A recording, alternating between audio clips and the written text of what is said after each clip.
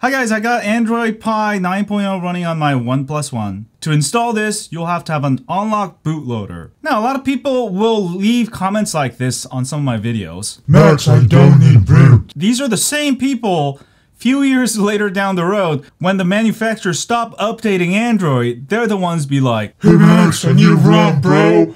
How do I unlock the bootloader? Unlocking the bootloader and rooting is very important especially if your phone gets old, such as this one, I think is almost 5 years old. But thanks to Unlock Bootloader and Root, I can go ahead and install the latest Android 9.0p running flawless. So the next time somebody asks you why you should root your phone, it is because when your manufacturer stop updating your firmware, I think the latest one on this was Android 6.0 Marshmallow, you can still keep updating it year after year. When Android 10 comes out next year, Android Q, you will still be able to update the OnePlus One. And another reason I really like the OnePlus as a company, because you don't void the warranty by unlocking the bootloader, and they actually support it. I wish Samsung, LG, and Huawei would do this too. Because otherwise, after a few years, your phone literally becomes outdated, unusable. With Android P, I was able to improve the performance, longer battery life, and it works nearly flawless. Let's go and take a look.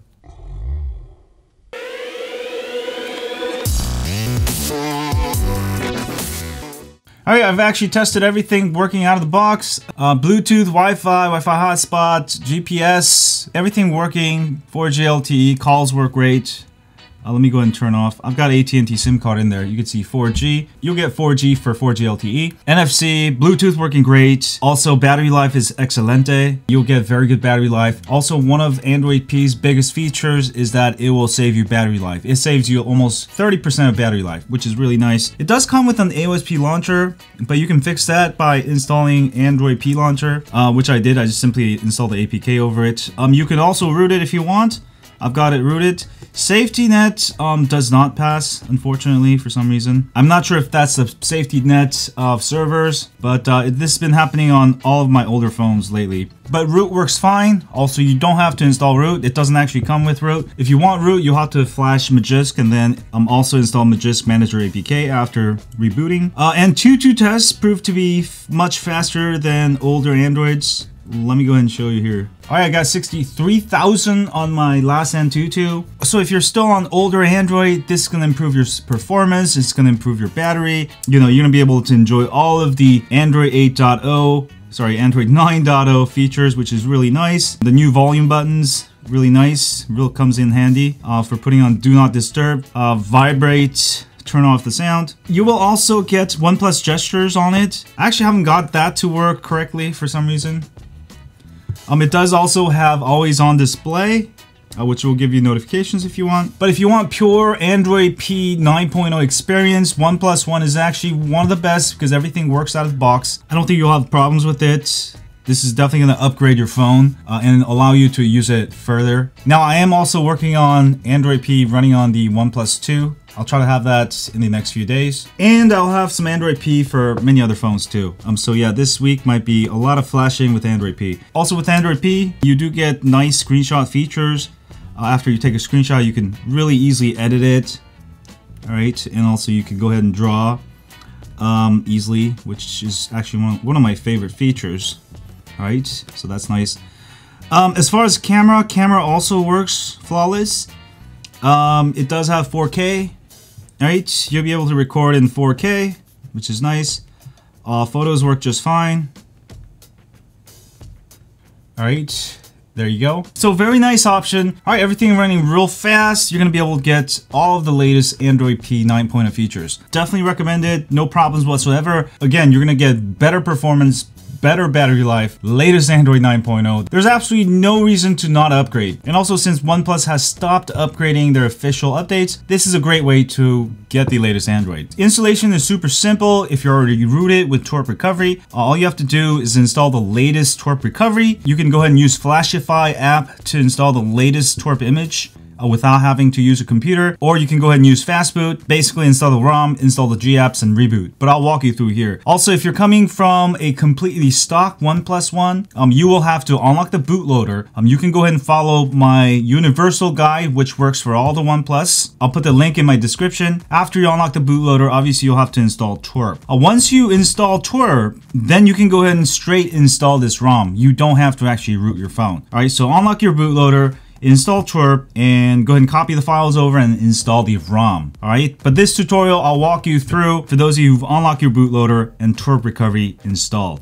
If you don't have those, again, I have full step-by-step -step tutorial you can follow, uh, which is universal for all the Androids and you can use on the OnePlus One. Um, so let me go ahead and walk you through. All right, first thing you're gonna do is go ahead and download the ROM and the G apps. You can download it straight onto your phone, or you can go ahead and download it to your computer and then copy it over. Go ahead and download the ROM and the G apps, and they should be on your phone and I'll show you in my files. You'll want to grab potato bacon blah blah dot zip, which is the actual ROM file all right and also you need to download gapps which is the BiTGApps dash arm64 also if you want the android p launcher go ahead and grab the android p launcher and also if you want root you'll need to grab the latest magisk v16.7 beta and also Magisk Manager. I'll put all the links in my tutorial. Go ahead and download all of those. Once those are downloaded, you can go ahead and power off your phone. Alright guys, once your phone is powered off, we're to go ahead and hold down volume down and the power key.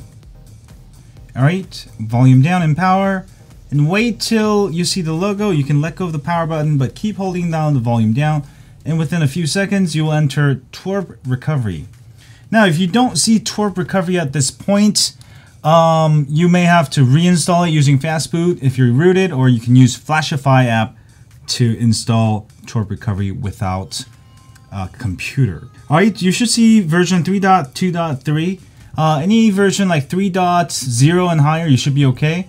Uh, if you're on the older version, just make sure you're not like using 2.8 or 2.9 because then you won't be able to actually install the ROM. Now, at this point, if you want to make a backup of your previous ROM, use the backup option.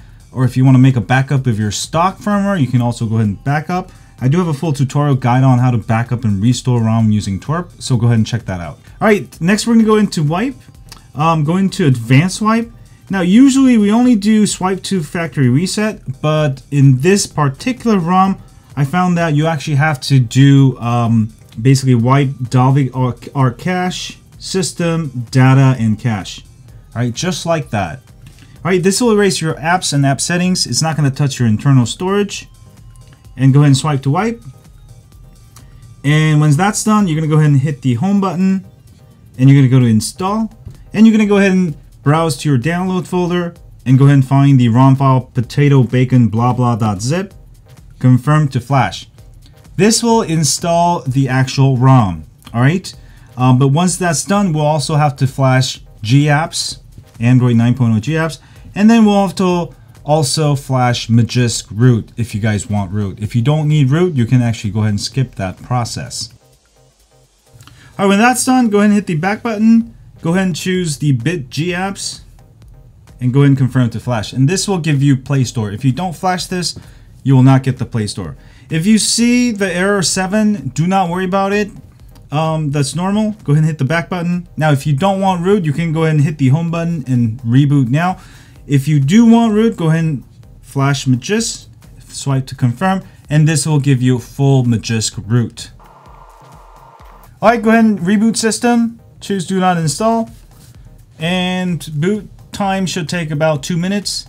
And once it's booted you should be fully on Android 9.0p and your phone will be renewed revitalized rejuvenated and actually runs really good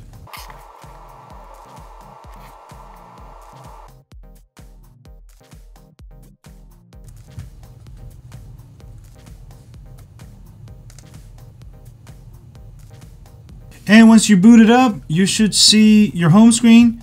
All right, this ROM actually skips the welcome screen, so you should be good to go. Connect to Wi-Fi, um, go ahead and um, sign into Play Store, and you should be all good to go. Now, if you did install Magisk and you don't see Magisk Manager, um, go ahead and install Magisk Manager APK. All right, you should have downloaded that earlier, or you can go ahead and download it now. Install, open, and boom shakalaka. You should be fully rooted. It should say installed version 16.7. Congratulations, you're fully rooted.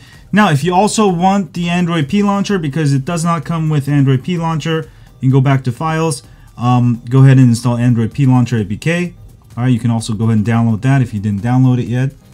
And once it's installed, hit the home button, set it to Pixel Launcher always, and boom shakalaka. All right, if you get three boom shakalaka, you're on fire. Sorry, we didn't get to do the third one today. Now, one more thing, if you guys want to make your animation a little bit faster, go into System, go into About Phone. Sorry, I have to hide my phone number. And go ahead and go all the way down to the build number. Go ahead and hit it a bunch of times until it says you're a developer. Hit the back button, go to Advanced, go down to Developer Options, and you're to go ahead and change your animations to half. And that will save you a ton of time um, because you don't need it that fast. So I always set this to uh, 0.5x and now your animation is going to be much faster and more responsive. All right, and that's pretty much it, yo. And thank you guys for watching this video. Hit the thumbs up for me. Um, I do have Android P also working on my OnePlus 2. So I should have that up in the next few days. Have a great day, and as always, stay Hold on Android P. Click here to subscribe.